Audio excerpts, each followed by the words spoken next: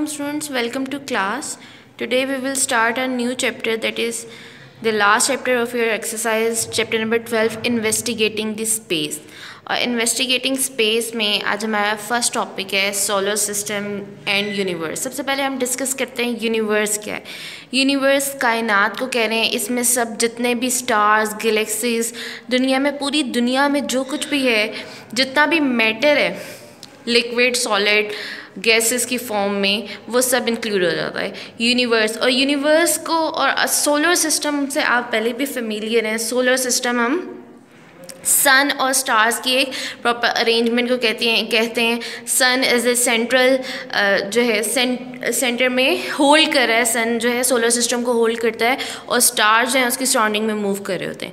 सो so, अगर हम compare करें यूनिवर्स और सोलर सिस्टम को so so, solar system is a small tiny dot in universe पूरी यूनिवर्स में बहुत से सोलर सिस्टम्स प्रेजेंट हैं। हम एक सोलर सिस्टम जो है सन और डिफरेंट स्टार्स हम एक सोलर सिस्टम का, जो अर्थ है, वो एक सोलर सिस्टम का पार्ट है और यूनिवर्स जो है, उसके कंपैरिजन में बहुत बड़ी एक स्पेस है।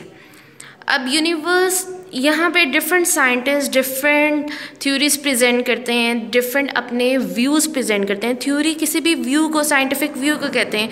साइंटिस्ट अपने डिफरेंट व्यूज़ प्रेजेंट करते हैं कि यूनिवर्स कैसे बनी, कायनात या दुनिया वजूद में कैसे आई। इस पर डिफरेंट थ्योरीज़ हैं। एज ए मुस्लिम जो है हमारा हमारा बिलीव है, हमें इस्लाम जो है इसके बारे में गाइड करता है और साइंटिफिक व्यू भी हम देखते हैं। सबसे पहले हम इस्लाम में इसके बारे में हमारे पास क्या नॉलेज है हम देखते हैं।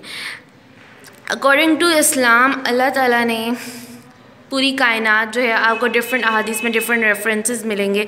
सिक्स डेज़ में या सेवन डेज़ में जो है पूरी दुनिया जो है वो वजूद में आई यूनिवर्स बनी और अल्लाह ताला ने क्या फरमाया? अल्लाह ताला ने कुन फरमाया और पूरी कायनात बन गई।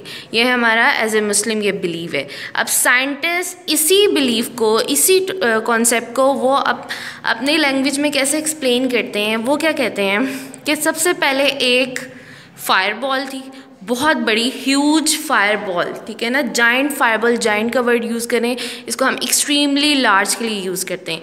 कि पहले सिर्फ़ एक जाइंट फायर बॉल थी। उस फायर बॉल में क्या हुआ? फायर बॉल में हुआ एक बिग बैंग बहुत बड़ा ब्लास्ट हुआ। Big bang means a blast उसमें ब्लास्ट हुआ, जब भी किसी फायर बॉल में ब्लास्ट होगा तो क्या होगा? एज अ रिज़ल्ट उसके pieces it will be divided into small pieces और वो स्मॉल पीसेस जो है, वो दूर दूर फैल जाएँगे। सो so, क्या हुआ? एक जाइंट फायरबॉल में बिग बैंग हुआ और मैटर जो है वो बहुत हर डायरेक्शन में वो एक्सपैंड हो गया। This was the concept given by scientist और इस कॉन्सेप्ट को हम कहते हैं द बिग बैंग थ्योरी और ये मोस्ट रिसेंट कॉन्सेप्ट है और ये यूनिवर्स के हाउ यूनिवर्स वॉज़ फॉर्म कैसे स्टार्ट हुई इसमें बिग बैंग थ्योरी जो है उसको जो है सबसे ज़्यादा जो है वो करेक्ट कंसिडर किया जाता है। अब सबसे पहले फायरबॉल था। इसको हम एक डायग्राम से भी देखते हैं। बिग बैंग थ्योरी कैसी होती है? फायरबॉल था जॉइंट फायरबॉल उसमें ट्रिबेंडस एक्सप्लोजन हुआ, एक ब्लास्ट हुआ और मैटर डिस्ट्रीब्यूट हो गया इन एवरी डायरेक्शन अगर आप सपोज़ करें, कहीं धमाका होता है, कि कोई चीज़ फट जाती है तो क्या होता है? उसके जो जितने भी पीसेज होते हैं, वो हर डायरेक्शन में फैल जाते हैं। ये यहाँ पे सेम केस हुआ। फिर क्या हुआ? मैटर जो है वो डिस्पर्स हो गया। अब वो कह रहे हैं कि मैटर जो है वो क्लाउड्स और गैसेस की फॉर्म में हर जगह जो है वो फैल गया। उसके बाद कुछ टाइम बाद और कुछ टाइम ये मिलियन ईयर्स का टाइम होगा। Million after million years of time क्या हुआ? Matter was cool down cool down हो गया और वो गैलेक्सीज और स्टार्स की फॉर्म में अरेंज हो गया और हमारे पास जो है वो सोलर सिस्टम जो है वो बन गई इस डायग्राम में भी आप देख सकते हैं, ये फ़र्स्ट जो है first figure is a huge fireball उसमें ब्लास्ट हुआ। ब्लास्ट की फॉर्म में क्या होता है? एक्सपेंशन होती है। मैटर जो है, हर तरफ़ फैल जाता है। और एक्सपेंशन के बाद जो है क्लाउड्स और गैसेस जो हैं, वो फॉर्म हुई और एट दी एंड जब वो सेटल डाउन हो गई आफ्टर मैनी ईयर्स वो गलेक्सीज और स्टार्स की फॉर्म में अरेंज हो गई और अगर ये कंप्लीट यूनिवर्स है, और इस पूरी यूनिवर्स में जो हमारा सोलर सिस्टम है अर्थ जिस सोलर सिस्टम का हिस्सा है वो बहुत स्मॉल पोर्शन है। सो so, हम बहुत बड़ी यूनिवर्स में हम जो है वो बहुत स्मॉल पोर्शन में एग्जिस्ट करते हैं और हमारे नॉलेज भी उसी की तरह लिमिटेड है फिर। So it was one concept के दुनिया कैसे बनी इसके अलावा भी बहुत सी थ्योरीज प्रेजेंट की गई लेकिन बिग बैंग थ्योरी जो है सबसे एक्यूरेट कंसिडर की जाती है।